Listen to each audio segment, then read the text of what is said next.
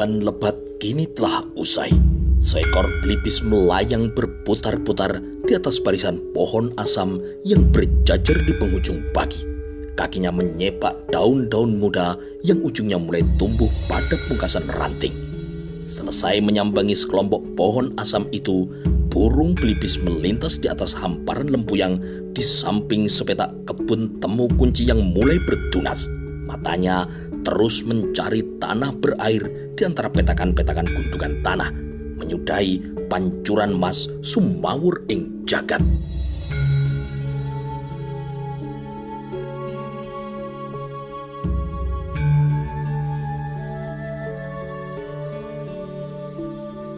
Hutan tarik sangatlah luas, terletak di tepi sungai Berantas yang tidak jauh dari pelabuhan Canggu.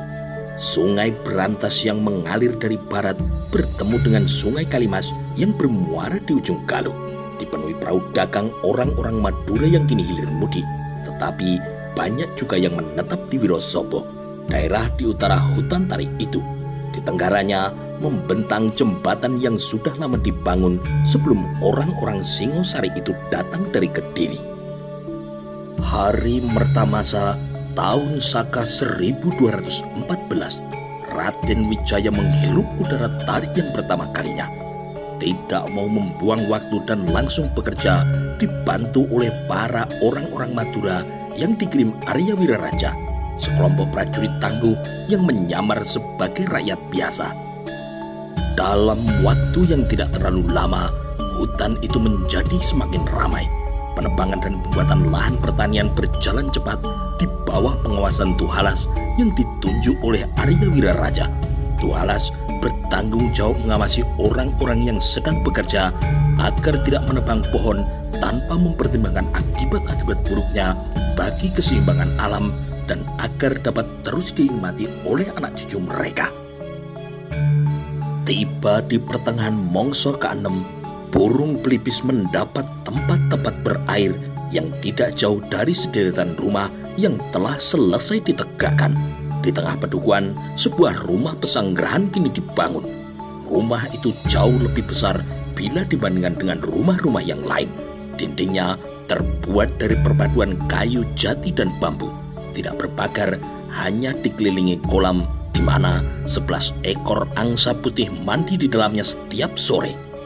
Tidak seberapa jauh dari kolam itu berjajar pohon kemuning membawa kesucian hati dan juga kejernihan berpikir orang-orang tari. Di belakangnya lagi ratusan tunas rambutan dan manggis telah selesai ditanam berbaris-baris. Hari demi hari kini terlewati. Rumah-rumah untuk pemukiman penduduk kini mulai tumbuh satu persatu. Tempatnya agak jauh dari rumah yang pertama Rumah-rumah yang dibangun berderet-deret itu beratap ijuk dan sebagian lagi rumbia. Seratus langkah di timurnya ada lebih dari sepuluh rumah yang beratap sirap dengan buungan yang melengkung di ujung-ujungnya. Sebagaimana rumah pesanggrahan untuk tempat tinggal para petinggi di pedukuhan itu. Sebuah rumah yang berukuran tidak terlalu besar di ujung deretan rumah beratap sirap itu telah dihuni oleh orang-orang bekas abdi dalam Singosari yang berhasil melarikan diri dari pengawasan prajurit Kediri. Mereka kini telah bergabung di desa Tari. Lasmina, Lasmirah, dan juga Subiksa adalah tiga orang perempuan abdi kedaton permaisuri Singosari yang datang bersama dengan sebagian orang-orang Mameling yang setiap hari menyibukkan diri dengan membatik sambil menunggu berkumpulnya kembali keluarga istana. Ketika wanita abdi dalam itu sudah tidak bisa menutupi rasa rindunya kepada Kanjeng Ratu Sri Baja Dewi dan anak-anaknya. Tapi tidak satupun orang yang ditemunya dapat memberikan kabar di mana kini junjungannya itu berada. Rumah-rumah di hutan tarik dibangun di atas tanah yang ditinggikan. Di pinggirnya diperkuat dengan susunan batu bata yang banyak dibuat oleh orang-orang di selatan desa Tarik. Dinding rumahnya terbuat dari papan kayu, sebagian yang lain dari bilik bambu dan tiang-tiangnya dari balok kayu jati yang berdiri kokoh di atas ombak-ombak batu. Pada sekeliling rumah itu dibuat pula selokan yang tidak begitu dalam untuk menampung genangan air jika sewaktu-waktu hujan turun.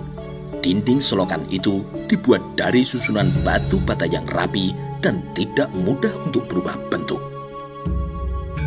Sungai Berantas kini mengalir dengan tenang. Lebih dari tujuh kali matahari terbenam lewatlah sudah.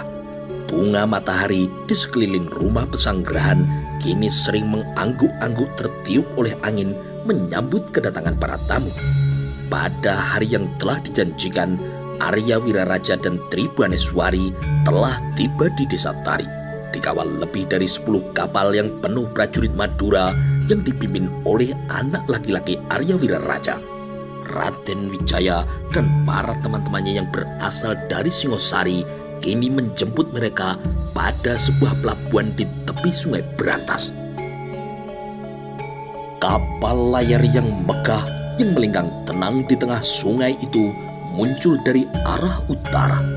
Arya Wiraraja di dalam kapal yang paling besar pada barisan ketiga. Menjelang dermaga, iring-iringan itu melambat sebelum menepi di sebelah kiri. Layarnya tergulung sedikit demi sedikit dan 20 pendayung di lambung kapal kini telah menghentikan ayunannya. Mereka mengangkat dayung-dayungnya ke atas, membiarkan titik-titik air jernih kini menetes dari ujung-ujungnya.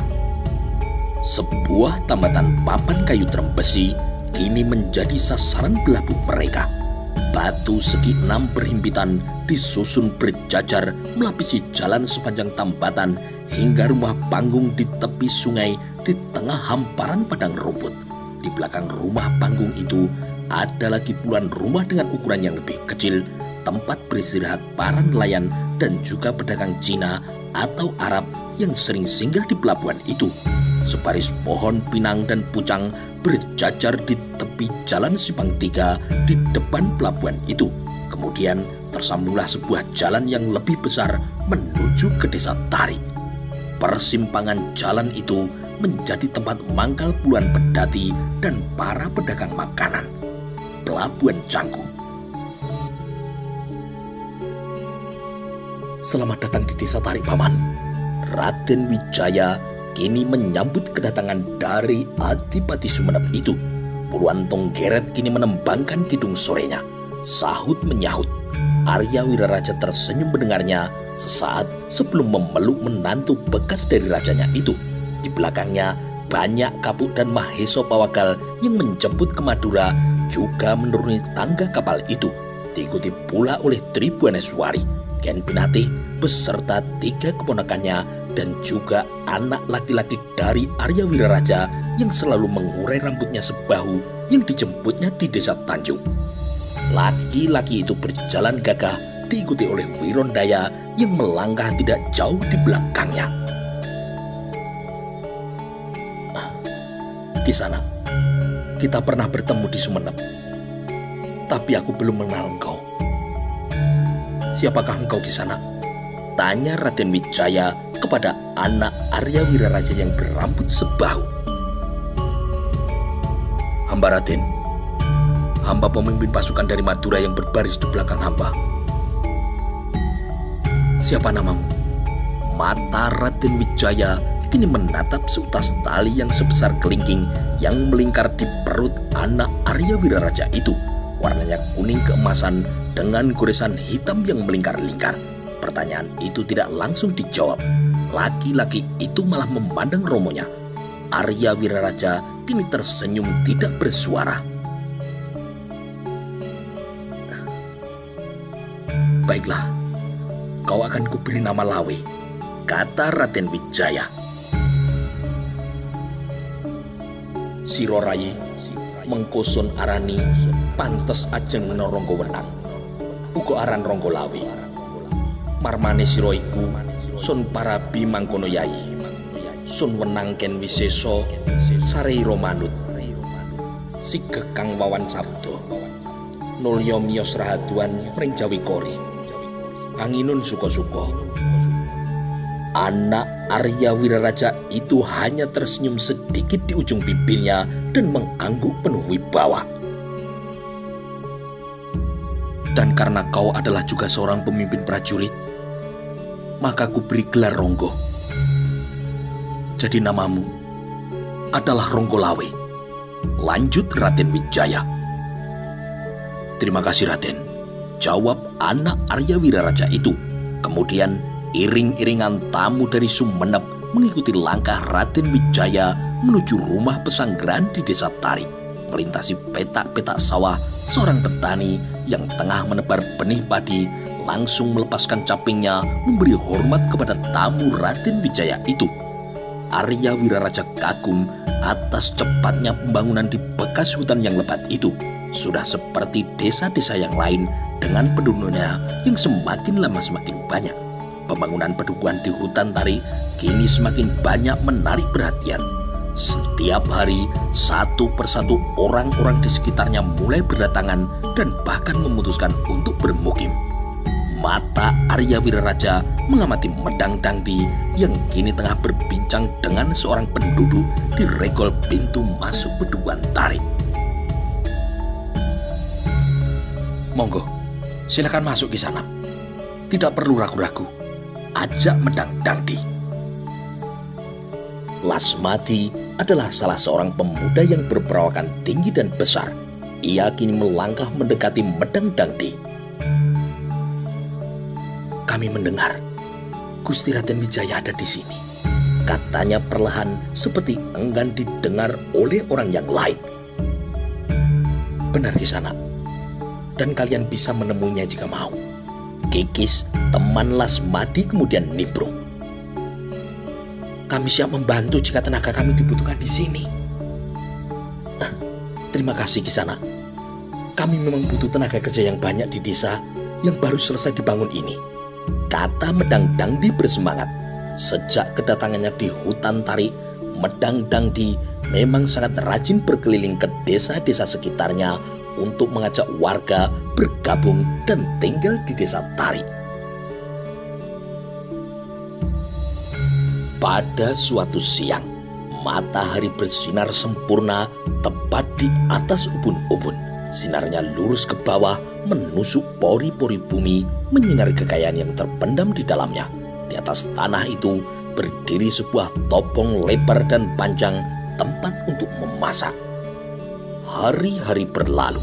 Siang itu, suasana di dapur umum desa Tarik dipenuhi beberapa perempuan yang menyiapkan masakan untuk makan siang mereka. Tribuaneswari duduk di samping Mita gadis kecil yang berumur lima tahun. Ia adalah anak dari Subiksa, warga desa Tari. Di seberangnya ada Mayang, gadis kecil yang berumur tiga tahun, anak dari Lasmira. Mayang, gadis cilik yang lincah, sebentar-sebentar menggoyangkan kepalanya, memainkan dua rambut ekor kudanya yang menjuntai jatuh ke bawah. Sejak tersiar babat alas tarik, satu persatu orang-orang dari Singosari mulai berdatangan. Mereka mengikuti Kilurah Mameling yang bergabung dengan para junjungannya. Lasmina kini membiarkan Tribuaneswari meneruskan pekerjaannya sendiri. Diurungkan niatnya menggantikan perempuan yang baru datang dari Madura itu dalam mengiris-iris sayuran. Di balai-balai rendah di seberangnya ada Lasmini Rambutnya yang sangat panjang melebihi pinggang membuatnya cepat merasa kegerahan. Tangannya tidak pernah berhenti mengipas-ipas tubuhnya. Kipas anyaman bambu selalu ada di tangannya. Kita membutuhkan bahan makanan yang lebih banyak lagi. Lasmini kini menyeka keringat di dahinya. Semakin hari semakin banyak orang-orang di sekitar desa ini yang bergabung dan kemudian bermukim di desa ini. Benar katamu, dan banyak juga orang-orang Singosari. Satu demi satu mereka datang dari selatan. Jumlahnya semakin banyak. Lasmirah kini menghentikan tangannya yang sedang mengadu-adu sayur. Dijauhkan kepalanya dari atas kuali menghindari uap santan yang mengenai wajahnya. Jika didiamkan, uap itu semakin lama akan semakin membasahi wajahnya dan hal itu telah membuat matanya berair. Suasana lengang kini menyelimuti desa Tari. Orang-orang mulai menghentikan pekerjaannya. Mereka menikmati angin gunung yang mengeringkan cangkul basah di bahu petani. menyimbak bulu-bulu itik yang berbaris di pematang sawah yang panjang mirip ular raksasa yang meliuk-liuk. Suara berisiknya menggairahkan alam desa yang sedang menanti di peluk malam. Lenguh sapi perahan kini memantul pada dinding-dinding benteng kayu di belakang desa Tarik. Angin gunung sore itu masih berlari melompati ladang-ladang sayuran. Angin itu berhenti di air terjun sebelah barat, terhalang oleh dinding terjal batu cadas yang hampir setiap hari lembab oleh percikan air dari atasnya. Airnya sangat sejuk, Kakang. Bibir Tribuaneswari terasa lembut menempel di telinga Raden Wijaya Kakinya terendam air sendang setinggi lutut dan jari-jarinya kini mendingin. Matahari nampaknya enggan mendekati peraduannya. Jemari Raden Wijaya kini mengusap-usap bulu halus di tengkuk istrinya. Semoga mentari hari ini akan terlambat pulang menuju peraduannya. Semoga saja diajeng. Raden Wijaya kini memeluk tubuh Tribuaneswari dari belakang. Kedua pasang mata anak manusia itu saling memandang kemudian menikmati air yang turun dari batu cadas yang menjulang di atasnya. Kepala Tribuaneswari kemudian mendongak dan melekat di leher Raden Wijaya di saat tangannya melepas pelan-pelan ikatan kemben sang istri. Kain sutra itu kemudian melorot ke bawah dan mengembang di atas permukaan air kolam dan menutupi butir-butir kerikil di dasarnya, menghalangi bayangan tubuh putri sulung dari Kertanegara yang telah tidak tertutup sehelai benang pun berdiri di atas permukaan air. Tribuaneswari kemudian membimbing kedua telapak tangan suaminya menutup dadanya, membiarkan cemari itu bergerak sesuai dengan irama degup jantungnya Sentuhan yang menggetarkan seluruh nadi itu mewarnai alam sore yang terpisah dari suara percikan air. Angin sore kini kembali berembus, menyelinap pada setiap lekuk-lekuk tubuh kedua manusia itu. Di bawah air terjun, kepala Tribuaneswari mendongak. Bibir basahnya setengah membuka menyambut bibir sang Raden yang mengantarnya hingga desa panjangnya terdengar mengiringi irama gemericik air dan juga gemericik ranting mawar. Matahari kini lengser semakin ke barat, kemudian cahaya kuning juga meredup. Bayang kedua anak manusia itu jatuh di padang rerumputan di timur sendang. Kemudian bayangan itu menempis seiring keremangan yang menjelang gelap menyongsong sekawanan kelewar bersiap menyambut malam burung kepodang kini terbang meninggalkan gelanggang cinta kembali ke sarangnya di hutan Gamping Rowo. Waktu kini terus berganti. Tujuh kali putaran waktu matahari mendorong raganya. Hutan tari kembali pada suasana yang sama. Tepat di atasnya, sepertiga langit lagi, penguasa hawa panas itu akan tenggelam. Cahaya merahnya dari barat kini menerawang tubuh Raden Wijaya yang berdiri tegak di atas bukit memandang desa yang baru saja dibangunnya. Sinar mentari itu menerawang lekuk tubuh Raden Wijaya yang kekar. Angin senja kini bertiup menggoyang helai daun ilalang yang disibak seseorang yang baru datang. Sesaat kemudian, Ronggolawi menghampiri sahabat barunya bersama dengan Ondowesi, kuda kesayangan yang dituntun di sebelah kirinya. Adakah yang mengganggu pikiranmu, Raden? Ronggolawi kini mengikat tali pada sebatang tonggak kayu waru.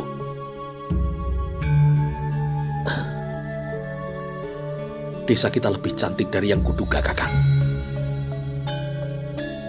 Tapi, yang memanjang seperti persiapan pembuatan benteng di sebelah kanan itu, kalimat Ronggolawi kini menggantung.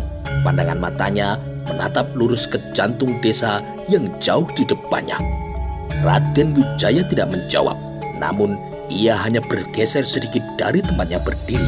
Ia mencari permukaan tanah yang lebih rata, kemudian berjongkok tepat di tepi tebing yang tidak terlalu curam berlapis tanaman pakis. tangan laki-laki itu mengusap bunga tapak dara yang tepat berada di depan lututnya.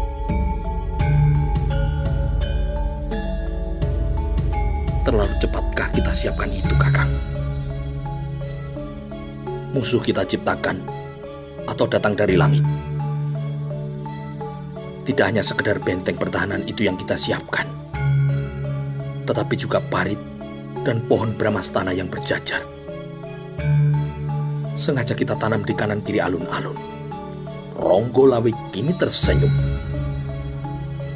Dan pada saatnya nanti, dari sebuah singgasana emas, ada yang mengawasinya dari jauh.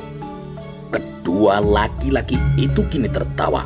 Di atasnya Angin dingin bertiup keras mendorong daun-daun di tonggak pengikat Ondowesi hingga kini terlihat melambai-lambai. Kuda Ronggolawe itu kemudian meringki dan menggeleng-gelengkan kepalanya. Mata Raden Wijaya kini melirik kuda Ronggolawe yang seakan memahami pembicaraan mereka berdua. Kita harus berani menentukan nasib negeri kita sendiri, Kakang. Jika kita lemah, maka negeri lain akan mempermainkan kita. Ronggolawe tidak menanggapi, hanya kepalanya saja yang mengangguk-angguk tanda setuju. Matanya kini menatap langit barat yang redup dan sepi. Matahari kini semakin condong. Lembayungnya mengembang bagai sayap bidadari yang menaungi bumi menciptakan sebuah temaram. Disusul pula oleh ribuan kerlap-kerlip pelita dari rumah-rumah penduduk di desa Tarik. Satu persatu pelita minyak jarak itu mulai dinyalakan. Bagi mata yang tidak terlatih, akan sulit membedakan antara nyala pelita dan kunang-kunang. Raden Wijaya kemudian bangkit dari jongkoknya karena lututnya mulai kini terasa pegal. Kemudian hampir saja ia membuka mulutnya ketika kemudian didahului oleh Ronggo Lawe. Hutan tari ini masih singgup dan berbahaya Raden. Raden Wijaya hanya menyapu pandangannya ke sekeliling, meneliti sudut-sudut desanya dari atas bukit. Kemudian matanya berhenti pada sebuah kolam besar yang telah selesai dibangun untuk latihan prajuritnya. Dari jauh, kolam itu mirip sebuah danau karena begitu luasnya. Bahkan terlihat pula seperti samudera. Sangat lama Raden Wijaya memandangnya seperti ada sesuatu yang tengah dipikirkannya.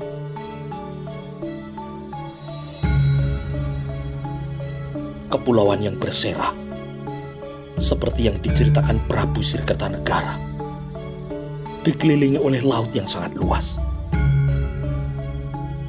Jika ingin dipersatukan, berarti harus dikuasai dulu lautnya. Untuk menguasai laut, maka diperlukan angkatan senjata laut yang kuat. Jika dapat berjaya di laut, maka juga dapat berjaya di darat. Itulah sebabnya kolam besar itu harus cepat selesai untuk latihan para prajurit. Tadi siang aku baru saja berkeliling Raden. Ronggo Lawi kini membuyarkan lamunan lawan bicaranya itu. Aku melihat ada cahaya dunia di sini, Kakang.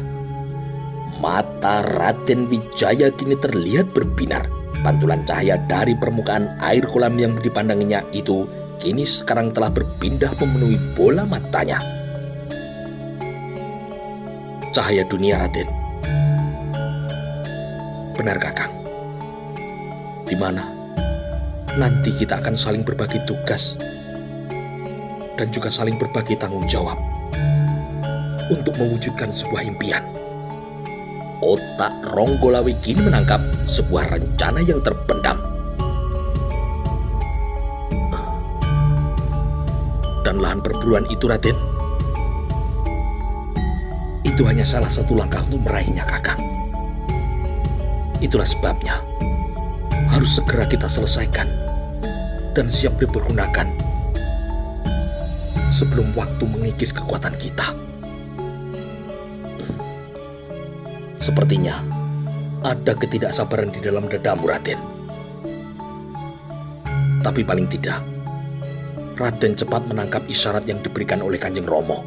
Sewaktu di Madura, hidung Ronggolawe kini mendengus mengeluarkan hawa misteri dari dalam tubuhnya.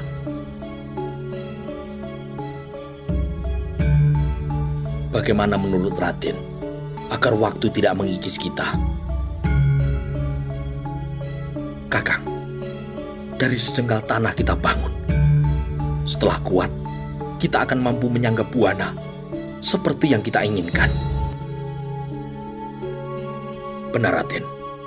Tetapi, kita butuh orang yang bisa merangkul warga sekitar untuk memperkuat kita. Orang-orang dari Madura sudah cukup tangguh, Kakang.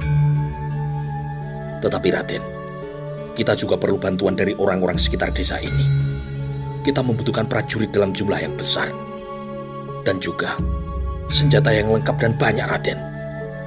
Raden Wijaya kini mengangguk membenarkan ucapan dari Ronggolawe. Medangdang di dan Wirota Wirogati sudah sangat dekat dengan warga di sekitar sini.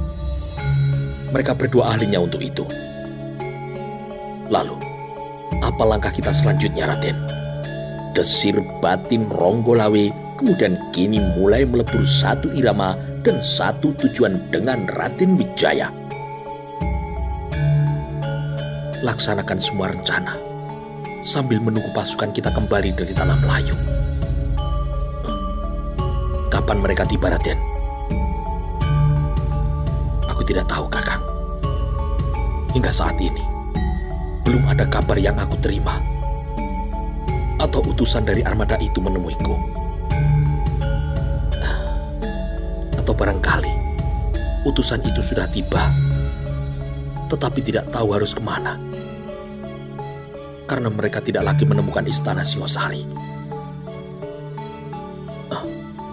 Apakah mereka akan pulang membawa beberapa ekor kuda dari sana, Raden. Tanya Ronggolawi. Aku tidak tahu, Kakang. Kenapa? Aku sudah memesan 27 ekor kuda Sumbawa. Tinggal menentukan waktunya saja. Kapan akan dikirim dari Madura? Raden Wijaya kini terkejut dan kemudian ia tersenyum. Kakang benar kita akan banyak membutuhkan binatang itu. Kuda Sumbawa jauh lebih bagus daripada kuda Melayu. Kini Ronggolawe yang ganti tersenyum. Tiga butir kerikil yang bergulir dari atas bukit kini telah mengejutkan dua laki-laki yang sedang bercengkrama itu. Lembu Kapetengan dan Wirota Wirogati kini muncul turun dari arah bukit. Tidak sengaja kakinya terpleset hingga memelantingkan kerikil yang menempel pada batu cadas di lereng bukit itu. Kapan kita akan menjemput Gajah Pagon, Raden? Tanya lembu kapetengan. Kalau bisa secepatnya. Barangkali luka di pahanya juga sudah sembuh.